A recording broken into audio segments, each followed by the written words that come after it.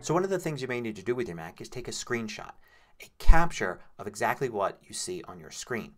There's a whole bunch of different ways to do this that are built into the Mac. So let's take a complete look at them.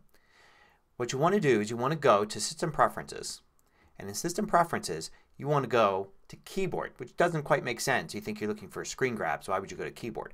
Well Keyboard is where the keyboard shortcuts are kept and under Keyboard Shortcuts there is a category for screenshots. And you want to go here because there are the default screen grab keys. But it's easy to change these and a lot of people have changed them over the years. It seems like every time I advise somebody to take a screenshot using this keyboard command they say it doesn't work and sure enough somehow it got changed. Maybe some old app changed it at one point or maybe they set it to something different so it didn't conflict with something at some point.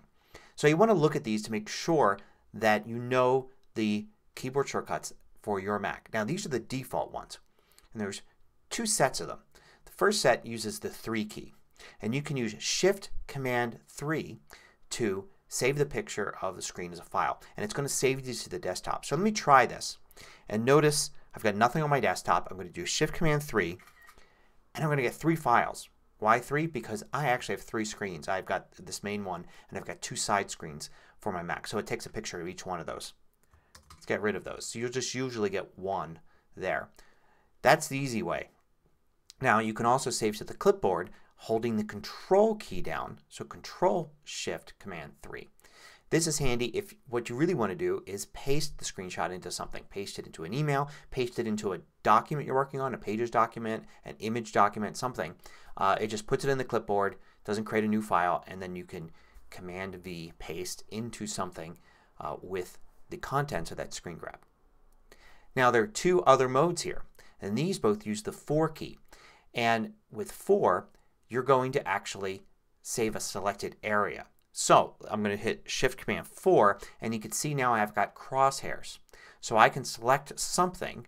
Let's say I want to select this area here. I'm going to click and drag, select the area and you can see it even shows me the pixel size for what I'm selecting and then I get a screenshot that includes just that. So I can select it. I'll hit the spacebar to look at it in Spotlight and you can see I have an image that's just that piece of the screen. So that's really handy. And like with the full screen grabs I can use the control key there, control shift command 4 to save this to the clipboard so that I can paste it into something rather than having a file automatically created. But there's actually some more here. If you use either of these two with the 4 you can capture an exact window. So say I want to capture this window here, that System Preferences window. I'll do Shift Command 4 and you can see I can grab a section. But instead of grabbing a section I'm going to hit the space bar. And that's going to change the cursor to a little camera.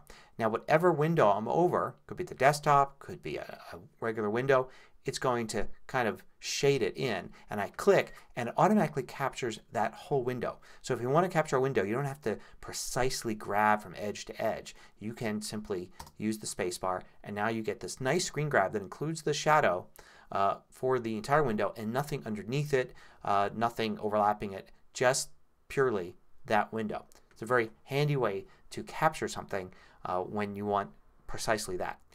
But there are more default ways to do it. There's an app you've got on your Mac called Grab. I'm going to use Spotlight, Command Space, and search for Grab. And I'm going to run the app. Now all I can see now from the app, there's no interface here. It's just these menu items. I can go to Capture and it looks like a similar set of selections. I can say I want to capture a selection. I'll use that. And you can see it gives me instructions. Take a, a, a screenshot of part of the screen, drag over that part and then I can click and drag and you see I get a red outline and it captures that. Now what Grab does is it opens it in this little window here. So it's not saving it as a file. Now from this point I can hit save and save it out. And I can even choose file formats. So a really handy way to preview what you're taking a screenshot of before you actually save it or use it elsewhere. So I can go and say I want a window as well and that will allow me to choose the window. I click on the window and I get a screenshot of the window. Another mode is for the entire screen And there's also time screen. So what's time screen good for? Well suppose I wanted to get a picture, say in system preferences, of this view menu here.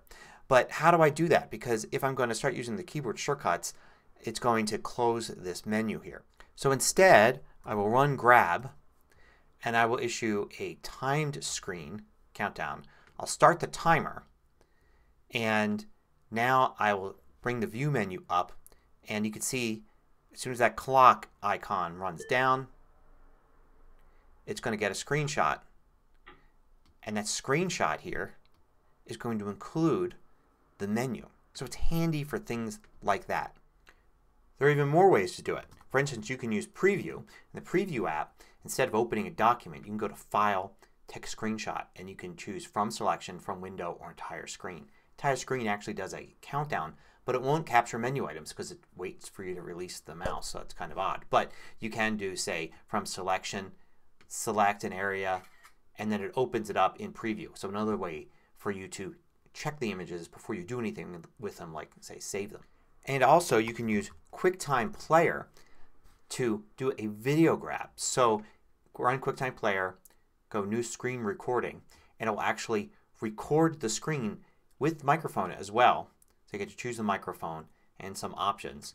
So you can do a video capture of your screen as well as a still image using the built-in tools that come with your Mac.